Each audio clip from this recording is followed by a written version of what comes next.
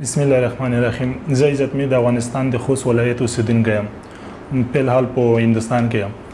مونږ چې کله د لور مریضي مو د زړه سروای لرله د زړه سروای ما لامل می کې چې سره میاشت ته شو سره میاشت کې می ثبت نام وکړو ثبت نام له عمله میږي راځي کړو هندستان ته هندستان کې د حیدرآباد په نوم حیدر آباد منم ځای ته معرفي کړو هلته کیر په نامه اسپیتال و دغه اسپیتال کې په حال په دې اسپیتال کې بعض اوس موږ د کیر په نوم اسپیتال کې ویو به عملیات مې د لور بيخي ماشاءالله خدای د رضا بيخي خو شو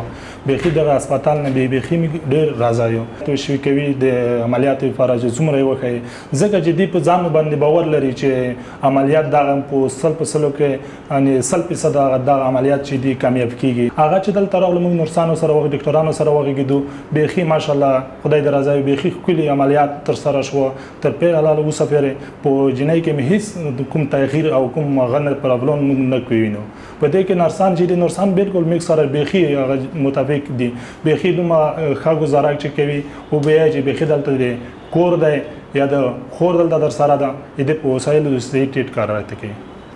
دا اشرف خانه چې زه په ټول جهان ته دا وایم بالکل ټول افغانانو ورونه ته يم څوک د ظلم مرزي چې لري باید په هندستان کې د کیر په نوم هسپتال ته به دراشي دلته بيخي حکومت مرزي چې د زړه غلري تکلیف ولري بيخي په ډوډا زره سره دراشي دلته ډېر خپل عملیات کېږي ټول جهان ته دغه ما چیلنج دی چې د کیر په نوم حکومت هسپتال چې د په هندستان کې دی بيخي د دخل د هسپتال د ټول جهان کې ان شاء الله بل بنو پیدا کیږي نو پیدا شي